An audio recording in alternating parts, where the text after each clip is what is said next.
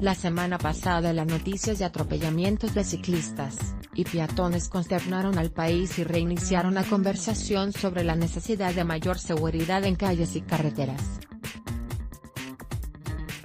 De 2008 a 2017 un total de 338.226 personas murieron de forma accidental en estos espacios, que representan el 48% de todas las muertes accidentales en el país. De manera constante, las personas que pierden la vida en las calles ha aumentado, a diferencia de otros espacios donde los datos fluctúan entre años.